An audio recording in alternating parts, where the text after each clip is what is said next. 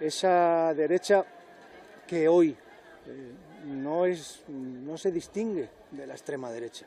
esa derecha que es capaz ayer mismo, por ejemplo, de poner en tela de juicio que los pensionistas de Castilla y León, que los pensionistas de nuestro país vean revalorizadas sus pensiones en un momento todavía difícil de crisis económica, en un momento en el que la inflación está desbocada, pero en un momento en el que precisamente eh, este gobierno está garantizando que nadie quede por el camino, que las pensiones se revaloricen conforme al IPC, sea cual sea la inflación en nuestro país. Eso es justicia, eso es defender el estado de bienestar, eso es defender al conjunto de los españoles y de las españolas. Y sin embargo, insisto, el Partido Popular, que no apoya la subida del salario mínimo interprofesional, que no apoya la revalorización de las pensiones, que no es capaz ni siquiera de poner en marcha medidas para hacer frente a la crisis derivada de la guerra de Ucrania en nuestra comunidad autónoma, lo que sí es capaz es de